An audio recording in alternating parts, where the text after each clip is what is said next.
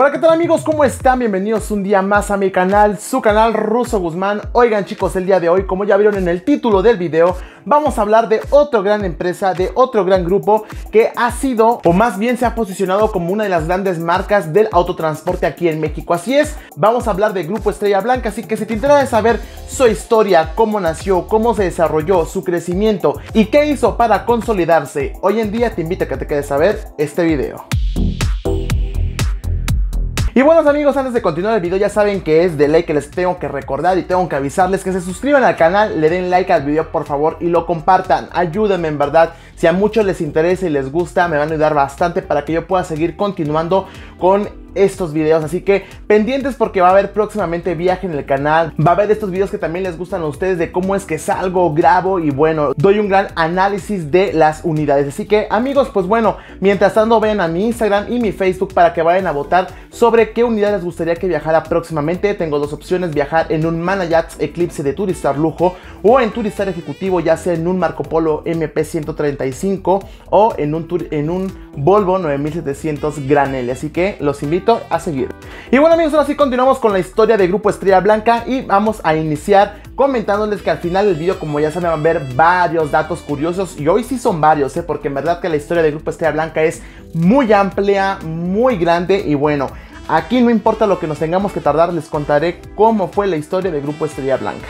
Y bueno, es importante iniciar que eh, posterior a la Revolución Mexicana en México, México comenzó a trabajar duro para la modernización y el desarrollo del país, por lo que en 1930 se inició con las construcciones de carreteras e infraestructura a gran escala. Derivado de ello fue que varios empresarios pues comenzaron a mirar hacia el sector del transporte foráneo de pasajeros y con la ayuda del licenciado Javier Rojo Gómez y Noradino Rubio, quienes en ese entonces eran los gobernadores del estado de Hidalgo y Querétaro, ayudaron a promover la creación de estas empresas transportistas siendo una de ellas la empresa llamada Sociedad Cooperativa de Transportes Nacionales del Centro Estrella Blanca. Y es curioso la creación de este eh, grupo, de esta empresa, porque realmente los transportistas o la gente o el grupo de personas que creó eh, esta empresa no era una gente adinerada, no, era con, no tenía mucho dinero. Sin embargo, esto no los limitó a conseguir una cantidad de dinero para poder eh, pues empezar con este negocio y reunir la cantidad de 34 mil pesos, ¿no? Que esto, bueno, en en, aquellos tiempos, hoy en día no sirve de nada para crear una empresa de este tamaño, pero en aquel tiempo recordemos que la moneda eh, tenía un valor diferente, no valía más, entonces sí era un, pues una buena cantidad de dinero. Entonces es así que junto con este dinero que juntaron, más aparte un crédito que pidieron a un banco, pues bueno, fue que se hicieron de los primeras, digamos, o sus primeras seis unidades de la marca Ford, que estaban equipadas entre 25 y 26 asientos. Y es así que teniendo estas unidades es que Estrella Blanca da inicio a sus operaciones un 15 de septiembre de 1940. Y amigos, es a partir de este año que nacen las cimentaciones de lo que hoy en día conocemos como Grupo Estrella Blanca. Y eh, algo importante como dato curioso, adelantándoles un dato curioso, es que sus oficinas eh, centrales de inicio estaban en la ciudad de Pachuca Hidalgo y que estaba eh, bajo un pues consejo de administración que estaba formado en aquel entonces por los señores Raimundo Ortega como presidente, Agustín García como secretario y Santiago Gutiérrez como tesorero. Y es así que la historia cuenta que esta empresa de inicio no contaba con terminales, ni mucho menos con un corporativo como hoy en día lo cuenta y que sobre todo sus inicios no inició como grupo, como empresa, sino como una sociedad cooperativa como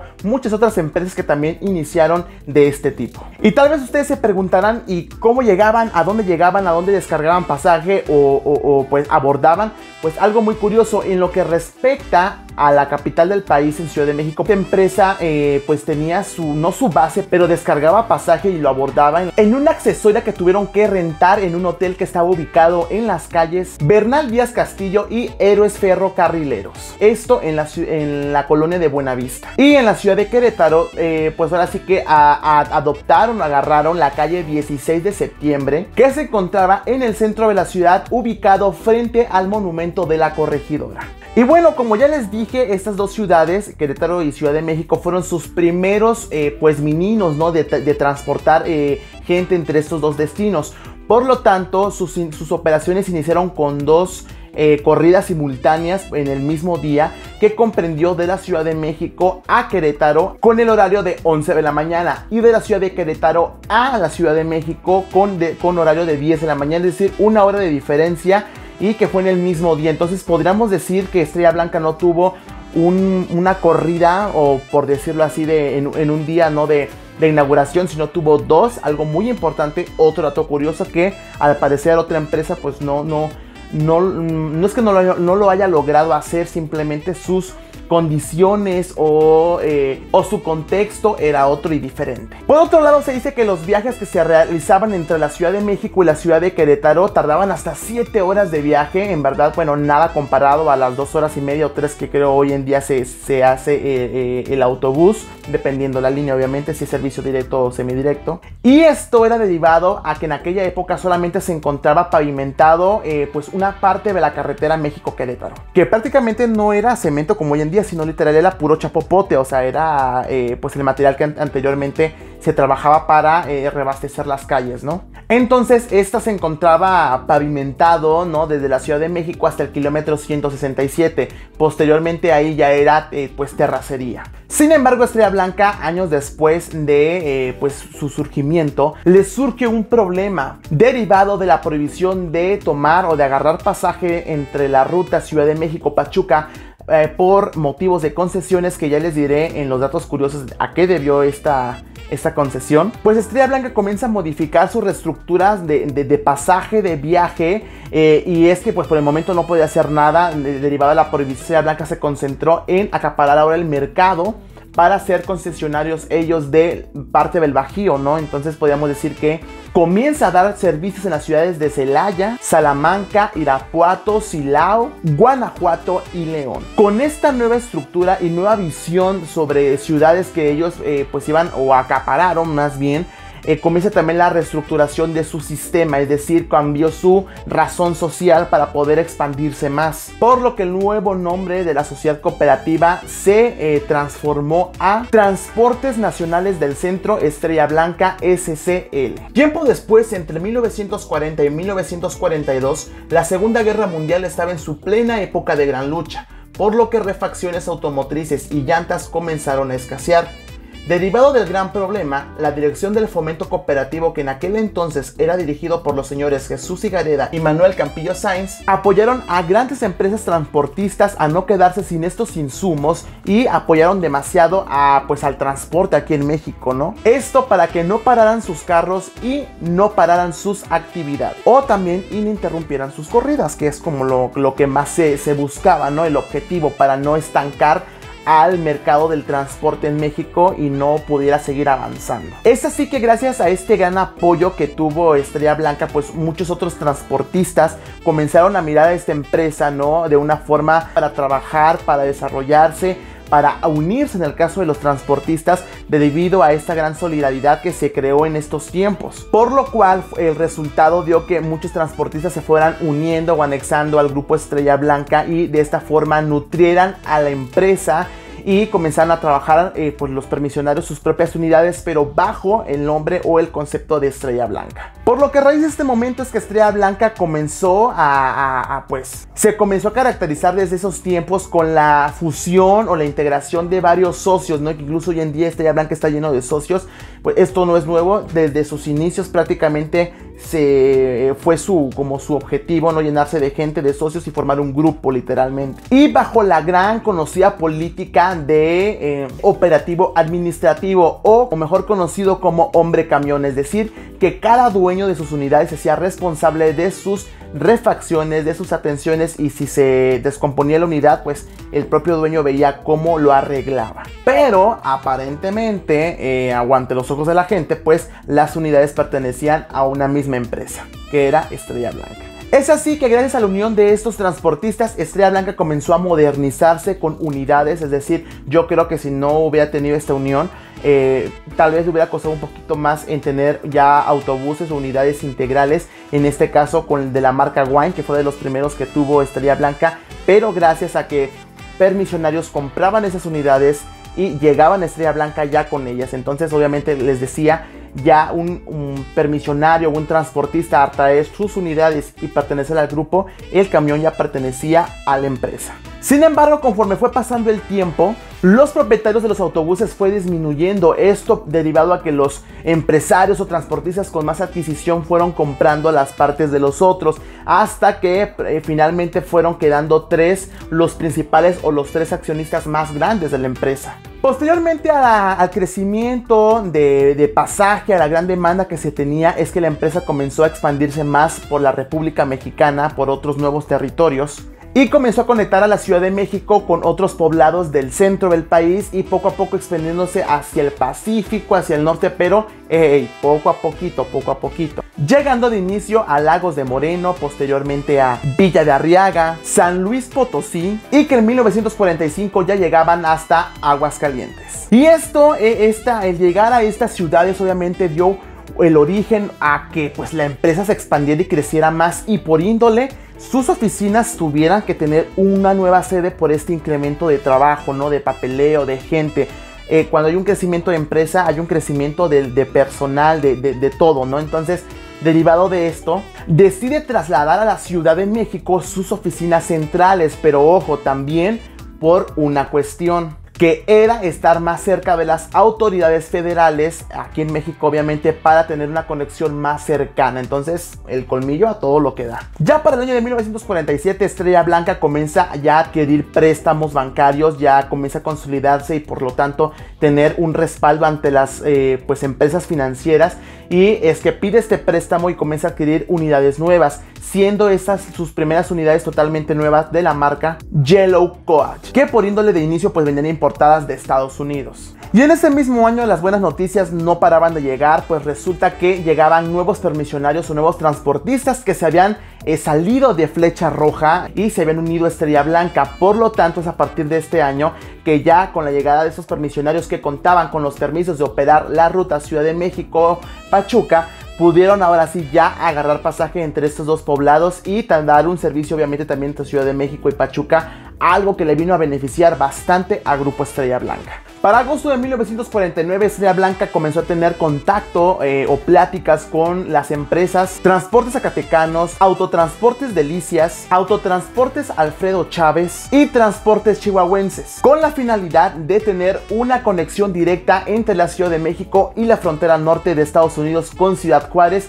y que a continuación les voy a mencionar cómo... Eh, estaba planeada esta ruta o la participación de estas cuatro o cinco empresas me parece. Pues el convenio quedó de la siguiente manera. Estrella Blanca se iba a encargar de eh, pues transportar el pasaje de la Ciudad de México hasta Aguascalientes. La cooperativa de Zacatecanos era encargada de transportar de Aguas Calientes a Durango. Autotransportes Alfredo Chávez de Durango a El Parral. La cooperativa Delicias de la ciudad de Parral a la ciudad de Chihuahua, Chihuahua y posteriormente Transportes del Norte de Chihuahua a la ciudad de Juárez. Con este convenio Estrella Blanca la rompió, adquirió sus nuevas unidades eh, muy bien equipadas para poder ofrecer un buen servicio y obviamente lograr posicionarse en esta ruta. Que incluso dio paso a que la empresa norteamericana Greenwood pues eh, viera ¿no? la buena estructura de trabajo que, que tuvieron y también se unieran a este pues convenio no para conectar hasta El Paso, Texas. Y es así que con esta gran ruta, ¿no? Con este convenio con estas empresas antes mencionadas, es que Estrella Blanca llega a la década de los 50, cumpliendo así su décimo aniversario. Sin embargo, no todo fue miel sobre hojuelas y resultó que pues durante esta, este crecimiento de Estrella Blanca, eh, otras empresas pequeñas, ¿no? Que se ven afectadas por este gran eh, monstruo, ¿no? Que ya estaba creciendo, ¿no? Que atacaba el mercado y se llevaba todo, pues eh, comenzaron a haber diferencias y a haber demandas, ¿no? Que al final de cuentas, pues no procedieron por no ser totalmente legal, ya que Estrella Blanca tenía todo en regla y bueno, no pudieron hacer nada. Sin embargo, no queda la espinita ahí, pues de que la empresa sufrió como esas molestias legales, ¿no? Y de decir, chale, pues estoy trabajando legalmente, pero pues pues no, no, este, no saben otra vez trabajar, no saben perder. Es complicado porque obviamente cada, cada quien ve por sus intereses. Pero Estrella Blanca, a pesar de estos pequeños problemitas legales, no se detuvo y al contrario, internamente había una había un fervor muy, muy emocionante ya que la empresa crecía, crecía, crecía. Y es que al mismo tiempo que sucedía lo malo, también sucedía lo bueno, que era la construcción de su primer sede, ¿no? La construcción de sus oficinas generales que las eh, ubicaron cerca de donde, en la Ciudad de México, cerca de donde salían, ¿no? Que estaba, que era, que era en la calle Bernal Díaz. Y justamente sus oficinas que estaban construyendo estaban en la esquina de Bernal Díaz con Berra. Así que, pues muy interesante. Para 1957 Estrella Blanca adquiere nuevas unidades. Estamos hablando de 10 unidades que fueron de la marca Aerocoach. Estas unidades que fueron sin duda alguna en la década de los 50 pues muy famosas, muy conocidos y que varias empresas del transporte aquí en México pues las tuvo en sus filas. Para ese mismo año la empresa Autotransporte Zacatecanos pues puso a la venta parte de sus acciones de la empresa y es que Estrella Blanca muy inteligentemente dijo, de aquí soy yo, yo me agarro de aquí y aprovechó esta compra porque tenía la visión de algo y es que gracias a esta adquisición tuvo el derecho de entrar sin restricciones hasta la ciudad de Durango. Así que otro dato curioso por ahí. Es así que Estrella Blanca llega a la década de los 60 y las sorpresas no paraban, al contrario, su, su gran crecimiento era tan exponencial que una unión más llegaba a este grupo y estamos hablando de Transportes Norte Guanajuato CSL, que dio como resultado el anexo de 65 nuevos socios y sobre todo 110 permisos para poder explotar ciertas rutas del bajío del país y así poder operar en el centro y norte de México. Muy interesante. Así como también obviamente venía con esta compra ¿no? de, de, esta empresa, pues 97 nuevas unidades que ya venían con, con transportes nortes de Guanajuato y bueno, incrementó en rutas, en socios y en unidades. Yo creo que esta fue la primer, el primer gran boom que tuvo Estrella Blanca con la unión de esta empresa. Derivado a esta llegada de, muchos socios y el que el grupo de repente de la noche a la mañana se hiciera grande, tuvieron que cambiar su nombre o razón social, que es hasta, lo, hasta lo que hoy en día conocemos exactamente el nombre, que es la razón social de Autobuses Grupo Estrella Blanca CA DCB. Con este cambio obviamente llega el primer cambio de administración, ¿no? Es decir, el primer consejo que, tuvo eh, pues eh, Estrella Blanca y que se quedó a cargo de los señores Jesús Higareda como presidente, Raúl Mondragón como secretario, y Sixto Sánchez como tesorero. Sin embargo, este nombramiento fue nada más como luego, luego de que se dio el cambio de nombre, tenía que haber, pues obviamente ya unos representantes legales y de inicio pusieron a estas personas, pero en la primera reunión del consejo que fue en febrero de 1962, es decir, al otro año, ya hubo una elección más, eh, pues electoral, ¿no? Entre todo el consejo y los socios para elegir ya de manera determinante quiénes serían los próximos dirigentes del Grupo Estrella Blanca, quedando en esta reunión y aprobando por todo el consejo y los socios a, las siguientes personas. El señor Basilio González queda como presidente del grupo y como secretario el famoso y gran reconocido señor hoy en día Salvador Sánchez Alcántara, quien más adelante les daré datos curiosos de cómo fue que llegó él a la empresa, así que no se vayan. Y por último, Eliazar García como tesorero. Y es así que durante los próximos 6 años, del 61 al 66, Estrella Blanca comenzó a igual a crecer, a crecer, a consolidarse, a dar mejor servicio pero fue hasta 1966 que nuevamente el consejo da un giro inesperado, da nuevos nombramientos derivados. Decidieron prácticamente salirse por problemas personales o X o Y. Y es que pues bueno hay un cambio. Donde el secretario Salvador Sánchez Alcántara pues es electo para ser el próximo presidente de Grupo Estrella Blanca. Es a partir de 1966 que este gran señor conocido en el mundo del autotransporte pues se convierte en el mandamás y en una pieza fundamental tanto para bien también, igual otros dicen que tanto para mal, no me consta, no lo sé, pero se convirtió en un referente de este grupo. Con los grandes cambios que hubo en Estrella Blanca ya para la década de los 70, pues esta empresa tenía ya eh, presencia en gran parte del país. Ya llegaba al norte, al noreste, al Golfo de México, al Bajío, al centro, a Guadalajara y comenzaba a tener presencia en el Pacífico, específicamente con Puerto Vallarta y Mazatlán. Y que estos últimos destinos, eh, pues fue gracias a la unión de nuevos permisionarios y empresas que se unieron a este grupo, tales como la incorporación de autobuses camiones de los altos, transportes tequilas, autobuses verdes, Transportes Frontera y otras pequeñas empresas más. Derivado de nuevas integraciones y que esta, vuelvo a repetir, nunca voy a parar de, decir el incremento, pero es que en verdad ustedes se han dado cuenta cómo la empresa fue creciendo mucho, mucho, mucho.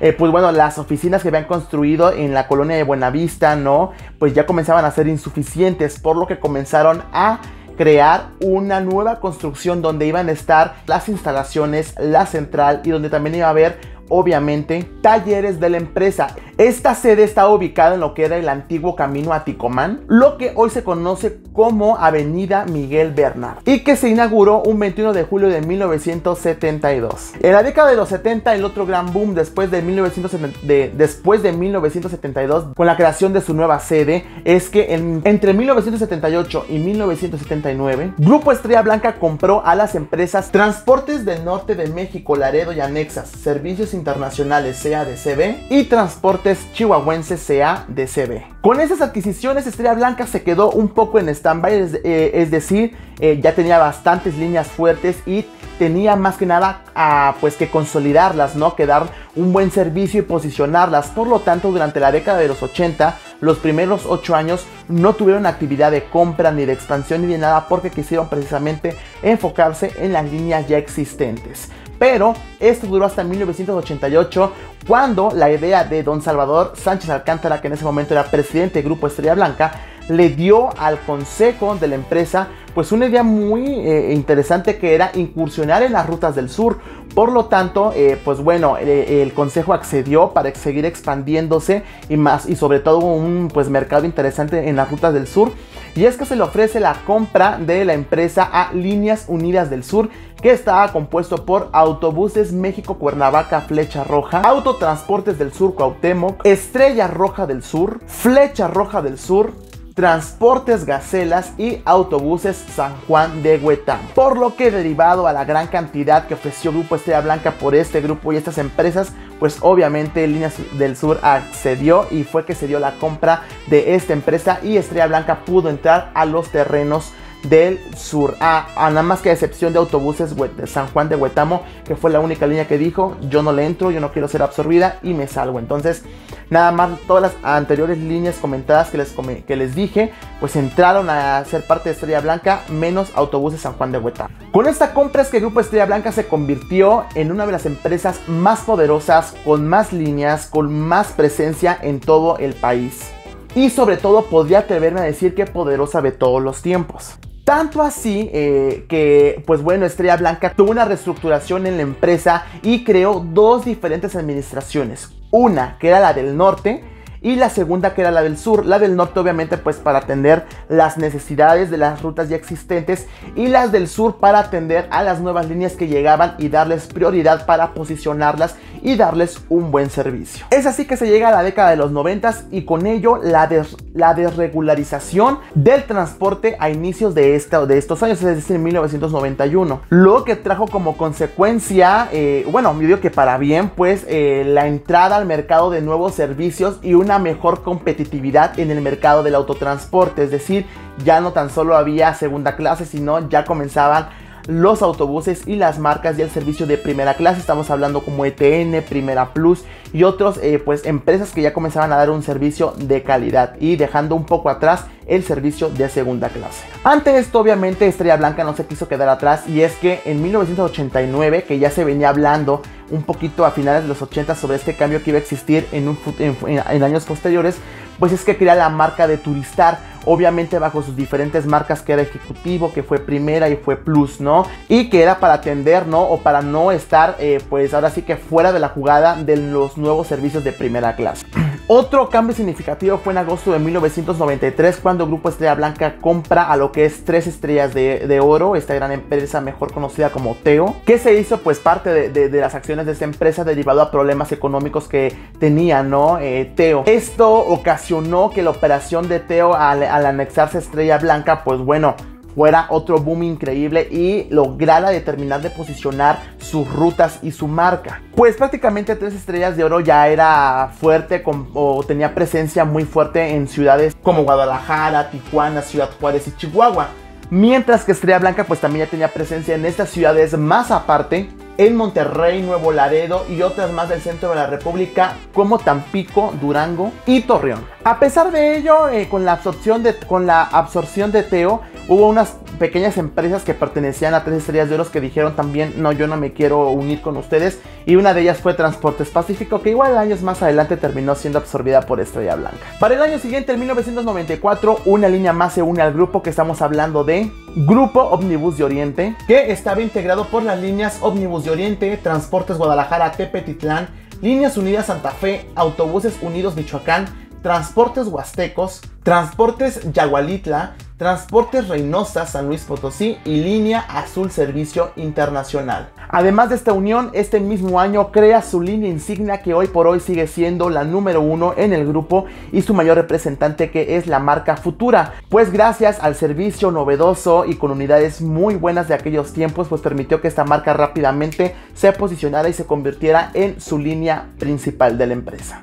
Y es así amigos que como podemos ver Estrella Blanca entre 1988 y 1995 tuvo otro boom, otro incremento muy importante, otro cambio muy radical y es que derivado a un cambio muy eh, abrupto, también nuevamente tuvieron que construir un nuevo ya corporativo de la empresa y es que pues se construyó en lo que hoy en día eh, está ubicada en la actualidad y conocemos Avenida Ceilán 899, Colonia Industrial Vallejo de la Alcaldía Azcapotzalco en Ciudad de México. Es así que con todos los cambios y uniones de empresas, para 1996, Grupo Estrella Blanca era la empresa más grande en ese nicho de negocio poseía alrededor de un 40% del mercado en México, porcentaje que ninguna otra empresa por separado tenía. En total manejaban 21 marcas. Las más representativas eran Futura, Elite, Turistar, Transportes del Norte, Transportes del Norte de Sonora, Transportes Chihuahuenses y Omnibus de Oriente. Además, el grupo contaba en ese momento con alrededor de 5.200 autobuses, 19.000 empleados directos y otras 30.000 indirectos. Además, contaban con 1.200 destinos y tenían operación en 27 estados del territorio nacional. Sin embargo, amigos, ante una gran presentación de lo que fue el Grupo Estrella Blanca en los 90, pues también tuvo pues problemas financieros, tuvo eh, consecuencias, por llamarlo así, pues este crecimiento desmedido de Estrella Blanca dio que los pasivos totales de la empresa eh, pues ascendieran a, a, unos 900 millones de dólares. Estamos hablando de aquellos tiempos que se encontraban distribuidos en ese entonces en más de 19 instituciones financieras. Es decir, Estrella Blanca le debía a más de 19 bancos eh, derivado de préstamos. Por lo tanto, igual Estrella Blanca siempre ha sido muy inteligente, tiene gente que ha sabido llevar las cosas eh, capaz y logró pues llegar a un acuerdo con estos bancos para poder pagar y de esa manera pues renegociar, renegociar la deuda que tenían, ¿no? Lo que en septiembre de 1997 pues se firmó un documento donde les daba la oportunidad de tener mejores condiciones de pago a las instituciones financieras. A pesar de ese gran logro pues Estrella Blanca no se pudo reponer al 100%, los problemas seguían, las deudas seguían eh, y esto causó que en el 2001 la dirección general de Grupo Estrella Blanca pasara a manos de Arturo Vela Peña, que era hijo prácticamente de Salvador Sánchez Alcántara. Por lo que se tenía en mente que Sánchez de la Peña con esta nueva idea joven, con, este, con toda la actitud, con las innovaciones de que había aprendido él en sus años de estudios y todo este rollo, pues viniera a darle una mejoría al sistema, un cambio y sacarla del hoyo en el que se encontraban, ¿no? Y efectivamente eh, pasaron ciertas cosas que para unos fue bueno, para otros fue malos, pero tuvieron que deshacerse de algunos activos que fue como el resultado o a lo mejor lo que Sánchez de la Peña dio o, dijo, ¿saben qué? Para poder sobresalir o sacar a flote la empresa tenemos que hacer esto, tenemos que sacrificar estas cosas más bien, pues fue la venta de Transportes del Norte a lo que fue Grupo Senda, dirigido en aquel entonces por el señor Jaime Rodríguez. Y que la verdad sí fue un, pues yo creo que fue un boom, boom muy grande en el mundo del, del autotransporte, incluso yo creo que sí lo sintió Estrella Blanca ya que pues perteneció a esta línea más de 25 años al grupo Estrella Blanca. Y bueno, finalmente en octubre del 2004 fue cuando ya se dio la venta total, se, se dio todo el, el, papeleo y bueno, se, se ofreció la venta y se dio, más bien se dio la venta de Transportes del Norte. Sin embargo, para mediados del 2006 la situación no cambiaba todavía, ¿no? Entonces había ahí una situación que no podía mantenerse bien a flote a pesar de las ventas de activos. Ah, porque también se dieron la venta de varias rutas que por cierto, en los datos curiosos les mencionaré, la TAM, una, una, famosa ruta que nada más es explotada por un solo grupo y que más adelante les diré. Pero que bueno, ante este crecimiento desmedido, pues ya fue a partir del 2000, o sea, no se vio reflejado luego, sino ya con el pasado de los años fue incrementando más este, e, estos problemas. Pues definitivamente la separación de Salvador Sánchez Alcántara del grupo Estrella Blanca decide salirse igual con su hijo. Y es que eh, pues Estrella Blanca en ese momento no tenía cómo liquidarlo, cómo darle sus activos a Salvador. Pues estaban realmente muy, muy dañados económicamente. Y es que le dicen, pues bueno, no tenemos dinero para darte, pero te vamos a ofrecer rutas, unidades y todo para que pues tú las trabajes, ¿no? O sea, no podemos darte más. Y es así como Salvador Sánchez Alcántara se queda con las rutas del sur y crea la marca de Turistar. Entonces, dato interesante otra vez. Ahí ya lo había mencionado en otro video, pero aquí lo, lo, lo, lo explayo un poquito más. Y finalmente, pues ya sabemos lo que pasó con Turistar, que también en el 2007, a principios del 2008, pues es vendido al grupo YAMSA, derivado a otros factores como la llegada y competencia de ADO con Estrella de Oro y otros factores más que si no sabes te invito a ver los siguientes videos que te dejo por aquí en estas pestañitas. Y, y, pues bueno amigos, es así que llegamos a los datos curiosos, lo que estabas esperando de Grupo Estrella Blanca. Así que, número uno. Cuando Estrella Blanca tuvo que dejar de recoger pasaje entre la Ciudad de México y Pachuca en la década de los 40, fue derivado a que, de que Grupo Flecha Roja adquirió las concesiones de esta ruta, por lo cual tenían pues la legalidad de solamente ellos explotar estas rutas, dándole pues la mala noticia a Estrella Blanca de no poder eh, transportar, abordar o descender gente en esta ruta. Número 2. Las primeras oficinas de Grupo Estrella Blanca en la Ciudad de México se ubicaron en la calle Bernal Díaz del Castillo número 11. Número 3. En 1947 se estableció un convenio con Autotransportes La Alteña en el cual constaba de intercambiar servicios de segunda clase entre los destinos de Guadalajara, León y con destino final la Ciudad de México, igualmente de viceversa. Número 4. La ruta de la Ciudad de México a Ciudad Juárez se consolidó gracias a que Estrella Blanca junto con Transportes Chihuahuenses obtuvieron los permisos de la Secretaría de Comunicaciones y Transportes, siendo las únicas dos empresas que podían explotar esta ruta de manera directa. Número 5 el gran famoso y conocido Salvador Sánchez Alcántara ingresó a la cooperativa Estrella Blanca un 2 de mayo de 1946 a la edad de 18 años, manejando el autobús con numeración 14. Número 6. De acuerdo con el blog Caminos de América, la adquisición más complicada que tuvo Estrella Blanca fue la de autobuses Transportes Frontera, ya que muchas empresas eh, pues se peleaban por esta empresa y por lo tanto costó mucho poder comprar finalmente la empresa, ¿no? Ya que uno ofrecía más, otro ofrecía más y así, así, así, así. Y así estuvieron por mucho tiempo. Pero que finalmente Estrella Blanca se hizo de la empresa, se hizo de la línea y por fin con esta compra pudo acceder a las ciudades de Monterrey, Nuevo Laredo, Reynosa y Matamoros y por lo tanto controlar el norte y noreste de la República. Número 7. Con la compra de transportes del norte y chihuahuenses en 1979 es que Estrella Blanca entró a competir al mercado de primera clase. A pesar de que no estaba oficialmente declarado este servicio, las empresas ya comenzaban a dar un mejor servicio al cliente y es que Estrella Blanca con estas dos líneas comenzó a incursionar en este servicio. Número 8. Durante la época de los 80s, Grupo Estrella Blanca se hizo de un parque vehicular muy grande, siendo en su mayoría la marca Dina. Número 9. Las principales empresas que eran competidoras directas de Grupo Estrella Blanca era Grupo Toluca, Grupo ADO y Flecha Amarilla. Número 10. Derivado de los problemas financieros que tuvo Estrella Blanca a principios de los 2000 por el crecimiento desmedido, fue que comenzaron a vender líneas, rutas y ciertas cosas de la empresa y una de estas rutas fue la famosa Puebla Acapulco que era exclusiva de Estrella Blanca y se la vendió a Grupo Estrella Roja. Número 11. Al dejar Salvador Sánchez Alcántara la presidencia de Grupo Estrella Blanca y se deslindó totalmente del grupo, este dejó a la empresa con 1.200 socios, una plantilla de 20.000 empleados y una flota de 3.960 autobuses que por cierto, esta última cifra era, estaba muy por debajo de las 5.000 unidades que tan solo 6 años atrás contaba la empresa. Y por último, número 12. Para el 2006, Grupo Estrella Blanca perdió mercado eh, pues en el territorio nacional, ya que de ser la empresa que contaba con un 40% de, de participación en el país,